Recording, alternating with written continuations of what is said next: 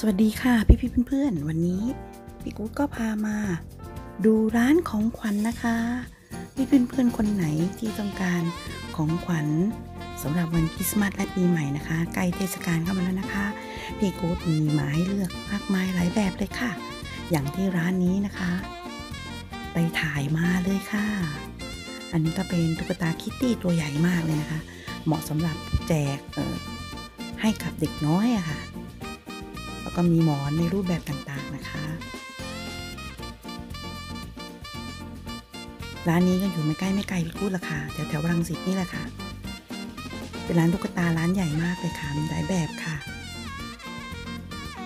เพื่อนๆอาจจะได้เป็นไอเดียนะคะสำหรับการไปจับฉลากหรือว่าไปห่อของขวัญหรือว่าให้เป็นของที่ระลึกในวันเทศกาลคริสต์มาสและปีใหม่ค่ะ มีตุ๊กตาเยอะแยะไปหมดเลยค่ะพี่พี่ๆเพื่อนๆ ลองชมกันเป็นแนวทางนะคะ พี่กุ๊ดก็มีมาให้ชมมากมายเลยค่ะ อันนี้ก็เป็นแนวตุ๊กตาหมีนะคะ ตุ๊กตาเป็นหมอนนะคะ อันนี้ก็เป็นแก้วค่ะ แก้วน้ำดื่มค่ะ เก็บความเย็นแล้วก็เก็บความร้อนได้ค่ะ อันนี้ก็จะเป็น คมไฟแล้วก็มีเสียงเพลงด้วยค่ะคล้ายๆหีบดนตรีนะคะ ส่วนตัวนี้ก็เป็นช็อกโกแลตค่ะ ช็อกโกแลตอร่อยมากเลยค่ะ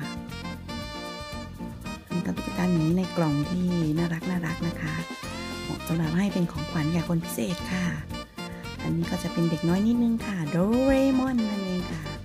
เป็นโคมไฟตั้งหัวเตียงหรือตั้งโต๊ะได้นะคะ ก็เป็นสโนบอลค่ะ น่ารักไหมคะเหมาะ เทศกาลคริสต์มาสและปีใหม่ค่ะ และนี่ก็เป็นการตกแต่งประดับต้นคริสต์มาสสำหรับบ้านใครนะคะที่จัดงานกินเลี้ยงค่ะ เป็นแนวนะคะ มีแมวน้อยค่ะแอบอยู่ในต้นคริสต์มาสค่ะ แล้วก็ป้ายบอกเทศกาลนะคะ Merry Christmas ค่ะ อาจจะเพิ่ม Happy New Year ด้วยก็ได้นะคะ แล้วก็เป็นขนม เป็นตุ๊กตานะคะในขนมเนี่ยนะคะ ค่ะ ก็มาถึงสุดท้ายแล้วค่ะพี่ๆเพื่อนๆ ขอบคุณพี่ๆเพื่อนๆค่ะ ที่ติดตามรับชมต่างๆ ในแบบกู๊ดๆนะคะ หวังว่าคงจะมีความคิดและมีแนวทางในการเลือกซื้อของขวัญไปจับฉลากหรือเป็นของขวัญของที่ระลึกในวันคริสต์มาสและปีใหม่